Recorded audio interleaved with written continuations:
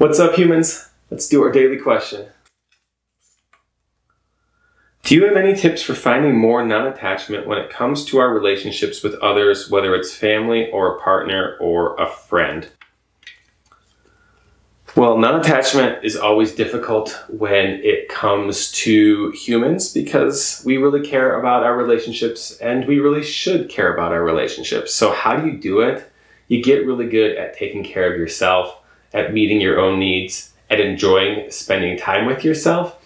And you diversify your life. You have lots of sources of joy. And so when you're coming from that place of abundance, yes, it still would suck to lose any of those sources of joy, but you have many of them. So if one disappears, you know, you still have many others and you know how to care for yourself and you know how to embrace and accept change and see what comes next.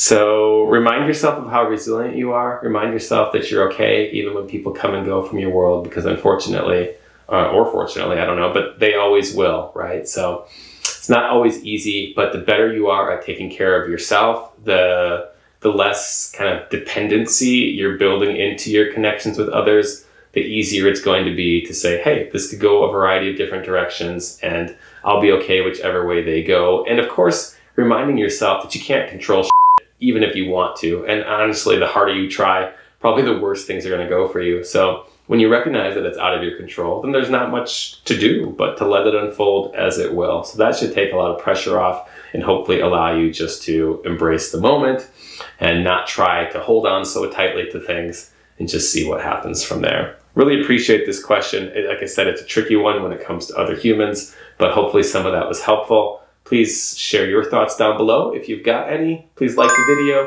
Thank you so much, and I'll see you back here next time.